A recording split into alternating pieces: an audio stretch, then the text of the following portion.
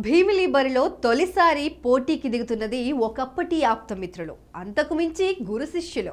వాళ్ళ అదృష్టమో ప్రజాభిమానమో గాని ఇప్పటి వరకు గంటా శ్రీనివాసరావు అవంతి శ్రీనివాస్ ఇద్దరు గెలుపు గుర్రాలే.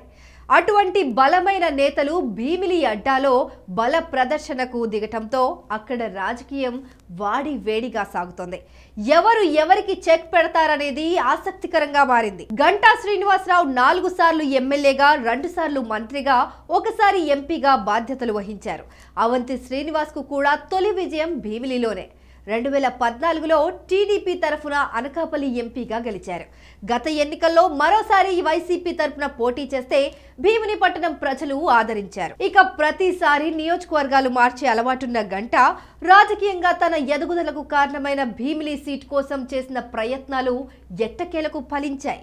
పంతొమ్మిది వందల తొంభై తొమ్మిది నుంచి రెండు వేల పంతొమ్మిది వరకు ఏ ఎన్నికల్లోనూ ఓడిపోకుండా మళ్ళీ అదే నియోజకవర్గం నుండి పోటీ చేయకుండా తిరుగులేని రికార్డును కొనసాగించిన రావు ఇప్పుడు రెండోసారి భీమిలి స్థానానికి పోటీ చేయడం ద్వారా తన పరంపరను తానే బదులు కొట్టారు. వైజాగ్ ఎంపీ సీటులో వైసీపీ తరపున బొత్స ఝాన్సీ లక్ష్మి పోటీ చేస్తుండగా సీనియర్ మంత్రి బొత్స సత్యనారాయణ ఇక్కడ చాణక్యం నడుపుతున్నారు. సెమీ అర్బన్ నియోజకవర్గమైన భీమిలిలో పట్టు బిగించేందుకు వైసీపీ ఇప్పటికే విస్తృతమైన గ్రౌండ్ వర్క్ చేసింది. రాష్ట్రంలోనే అతిపెద్ద నియోజకవర్గం కాగా ఇక్కడ ఓటర్ల సంఖ్య సుమారు మూడున్నర లక్షలు. జగన్ సర్కారు మరోసారి అధికారంలోకి వస్తే భీమిలి రాజధాని ప్రాంతం కానుంది.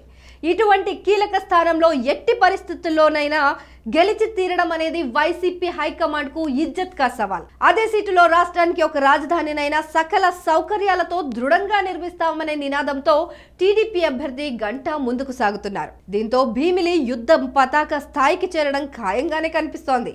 తన చేతిలో ఓడిపోవడానికే గంట భీమిలి వస్తున్నారని పొలిటికల్ స్టేట్మెంట్లు ఇస్తున్నారు అవంతి. మరోవైపు గంట ఆ సెటైళ్ళను విని విననట్టుగా పక్కన పెట్టి తన పని తాను చేసుకుపోతున్నారు. రాజకీయ వలసలు ప్రోత్సహించడం మొదలుపెట్టారు. ఒక జెడ్పీటీసీ సహా పలువురు సర్పంచ్లు ఎంపీటీసీలకు పసుపు కండువాలు కప్పేశారు.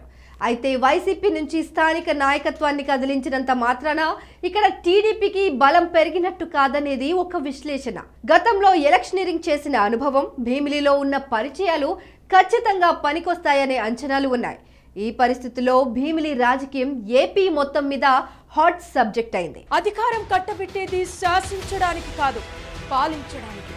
ఐదేళ్ళకు ఒక్కసారి చేతికొచ్చే ఆయుధం అసమర్థుని ఆదుకోవడానికి కాదు దమ్మున్న నేతని ఎన్నుకోవడానికి. ప్రజాక్షేత్రంలో ఎంతటి ఘనుడైనా మట్టి కొరగొచ్చు మట్టి మనుషులకు సైతం పట్టం కట్టొచ్చు. ఎవరిని సింహాసనం ఎక్కించాలో ఎవరి మెడలు వంచాలో ప్రజలకు బాగా తెలుసు. ఇప్పుడు సమయం ఆసన్నమైంది.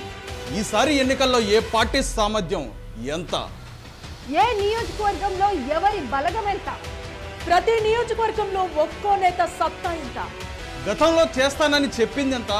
చేసిందెంత? చెయ్యబోయేదెంత? సూటిగా సుత్తి లేకుండా చెప్పడానికి మేము రెడీ. మీరు రెడీనా?